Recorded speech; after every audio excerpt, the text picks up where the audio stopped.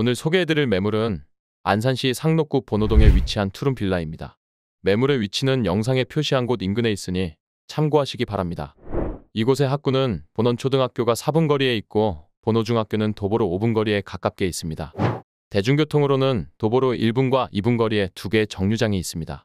운행하는 노선은 영상에서 보시는 것과 같습니다. 코너에 위치한 건물로 대리석으로 깔끔하게 마감되어 있는 외관입니다. 1층에는 필로티 주차장이 있어 세대당 한 대씩 주차 가능하답니다. 현재 보고 계신 매물이 거래 완료됐다면 아래 고정 댓글에 적어 놓겠습니다.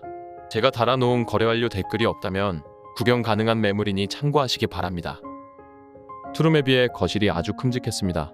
책장과 다인용 책상이 배치되어 있어 작아 보일 수 있지만 아래 치수만 보시더라도 아주 큼직한 거실이랍니다. 소파와 TV를 아주 넉넉하게 배치할 수 있는 사이즈랍니다. 코너에 위치하고 있어 사방이 트여 있는 채광도 아주 좋은 집이었습니다. 주방도 꽤 큼직하게 마련되어 있었는데요.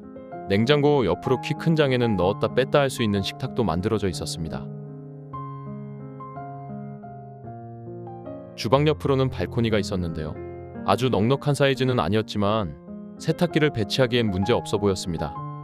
김치 냉장고도 배치할 수 있을 만큼 폭이 넉넉하게 만들어져 있는 발코니였습니다.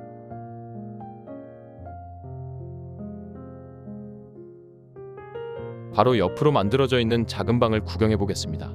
관리 상태가 너무 좋았었습니다.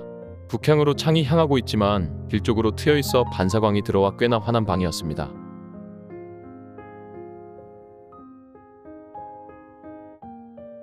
욕실이 꽤나 큼직하게 만들어져 있어 좋았습니다. 환기창이 있어 좋았으며 관리 상태도 너무 괜찮았습니다. 욕실에 필요한 모든 기구들 고장 없이 잘 설치되어 있었습니다. 마지막으로 안방을 구경해 보겠습니다.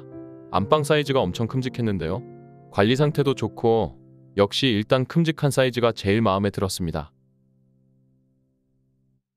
오늘은 위치도 좋고 큼직한 투룸빌라를 소개해 드렸습니다.